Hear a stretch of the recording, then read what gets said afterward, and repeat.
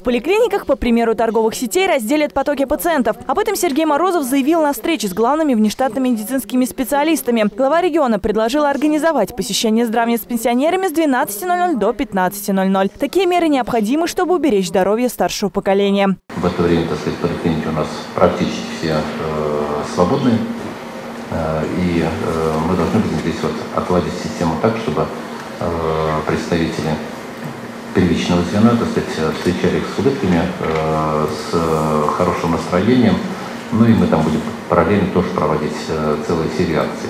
Губернатор еще раз подчеркнул, что регион находится в режиме повышенной готовности в связи с пандемией коронавируса. Поэтому врачи, словно солдаты, сегодня на передовой. А роль главных внештатных специалистов неоценима во все времена. Институт узких врачей был создан еще в Великую Отечественную и своей актуальности не теряет по сей день. Нам нужно э, сегодня обсудить, э, как перезагрузить нашу э, совместную работу для того, чтобы резко и существенно повысить качество здравоохранения на Ульяновской области.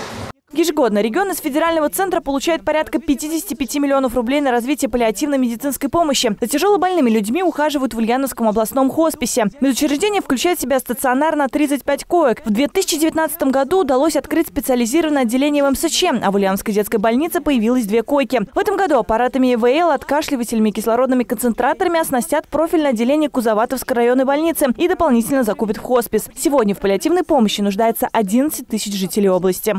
Мы будем обучать и готовить специалистов первичного звена для того, чтобы открыть в дальнейшем до 2024 года 40 кабинетов паллиативной помощи, которые действительно будут практически в каждой медицинской организации находиться.